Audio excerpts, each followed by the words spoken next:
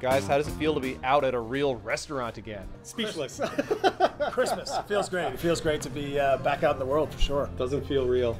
Speaking of doesn't feel real, what do you think of your uh, dining companions? Uh, very fashion forward for sure. I guess this is my double bubble now. Uh, you know, so I don't know if we leave together after this or.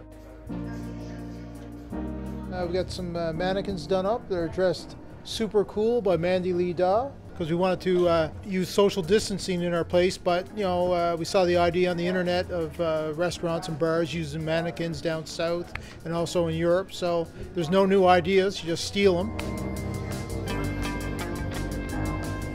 Well, first, when it was mentioned to me, it reminded me so much of Kevin McCallister in Home Alone. so I pictured them like dancing in the window.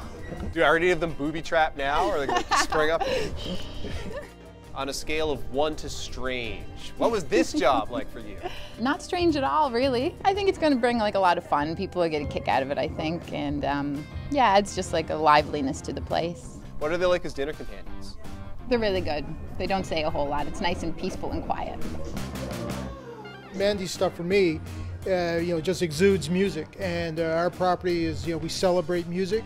You know, life without music is not life, and uh, really looking forward to seeing people moving around and getting back to some sense of normalcy again that uh, that we knew prior to the pandemic. And it's hopeful because life goes on, and we all adjust and we adapt to whatever the situation is.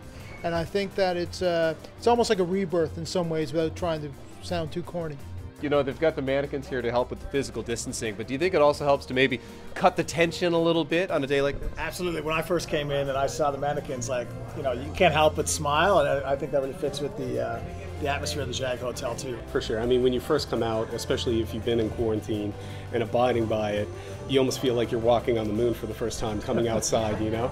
And uh, this certainly seems a bit alien to me, so that kind of plays into that very well.